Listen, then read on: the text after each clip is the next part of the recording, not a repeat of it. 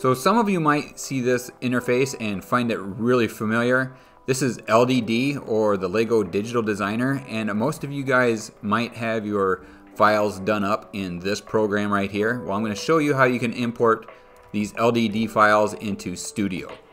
I don't know of anybody that has more LDD files than these right here. So here we are, we can go ahead and start to import right here and this will allow us to import into Studio. So we open up, that up, it opens up a window, we pick the file we want to open, and it brings it right in. So that's one way of doing it, and with everything there's a second way of doing it. And that is through the taskbar at the top. And I'm going to show you how to do that right now. So let's start with a clean slate and get going. Okay, so we're stuck here with a blank or a new file. Um, the first thing we're gonna wanna do to import is hit this step one over here to the right. It's pretty important to click this step one over on the right first, otherwise it'll open it up as a sub-assembly.